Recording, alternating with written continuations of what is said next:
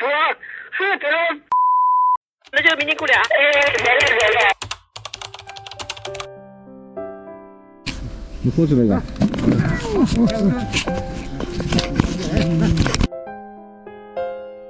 老太无非说你俩的。嗯。昨天晚上。嗯。你去看了吗？没有。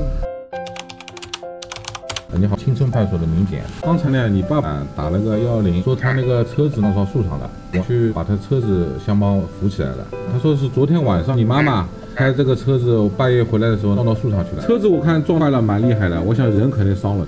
到时候问一下你爸爸到底什么情况，万一那个小病拖大病很麻烦的。别的没什么。